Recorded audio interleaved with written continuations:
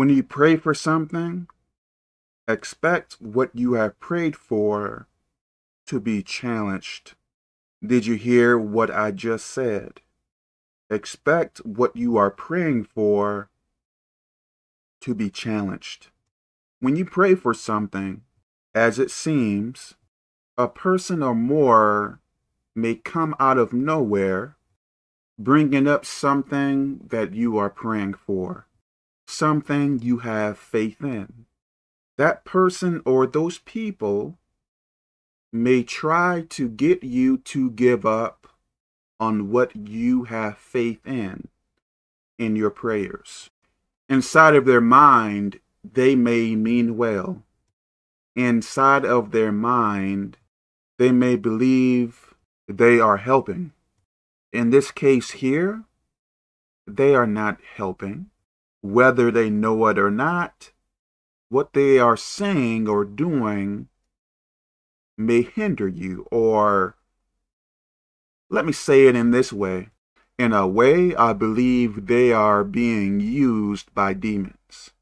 Just because someone means well doesn't mean what they are doing or their advice is good for you. Let me say this I don't think the timing is coincidental. You have been praying for something, for an example, you have been praying for something many, many, many, many, many, many times out of nowhere, as it seems. In a sense, someone is telling you to give up on something. In a sense. That isn't demonic? Are you telling me that? That have to be demonic. I don't think that can be of God. Also, let me say this. Sometimes you have to keep things to yourself, things you are praying about. I guess you can tell some people if you want to, some people who may have as much faith as you or more, but in general, you probably should keep your mouth shut about some problems you have. Some people may give you very, very bad advice. Bad advice.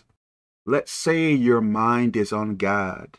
Your mind is on continuing to do what is right. Keeping faith in what you are praying for. Some people may be able to rattle you by telling you some things that goes against what you are praying for. I know it has happened to me more than one time. You need to stay calm. You need to stay composed. Don't let demons shake you through another person, shake you away from your faith, shake you away from what you are believing in. I don't know every case, so I can't speak on every case, but I would say in general, if you continue to do what is right, if you keep on believing in what you are praying for, why wouldn't you receive what you are praying for? Why wouldn't you receive that healing? Why wouldn't you receive that career or some type of career? Why wouldn't you receive what you are praying for? So if someone comes your way trying to shake you away from the path that you have been walking on, that may be a sign that you are on the right path. That may be a sign that you are getting close.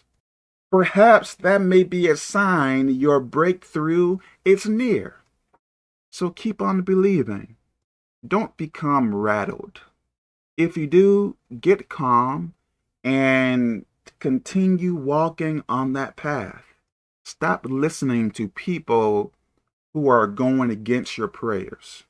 Stop following their bad advice. If what you are praying for goes along with the Bible, continue praying. Continue believing. Hold your head up and keep on walking forward. Don't become discouraged even if you don't have many people supporting you in what you are praying for, stay strong. Ask God for guidance. You don't need 20 people to believe in you for what you are praying for. Everyone around you can say that you are foolish to believe God is going to answer your prayer. They may say you are wasting your time. They may say you are ignorant. They may say negative things about what you are praying for. If you know what you are praying for goes along with the Bible, continue believing. Continue to have faith. Don't let up. Some people may not agree with the things that you do. Some people are not on the same spiritual level as you. Some people may reject many things that goes along with God. Some people may want to be may want you to be as miserable as them. Don't do it. Don't go their way. You need to keep on believing. I believe you can make it. I believe you will receive what you have been praying for. Just don't give up. Keep on pushing forward. Never let go. Find peace in Jesus Christ. Find peace in reading the Word, meditating on scriptures. People around you may not give you peace. They may say you are going to fail. You have to ignore it. You have to keep on moving forward. You can't let go. May God bless us.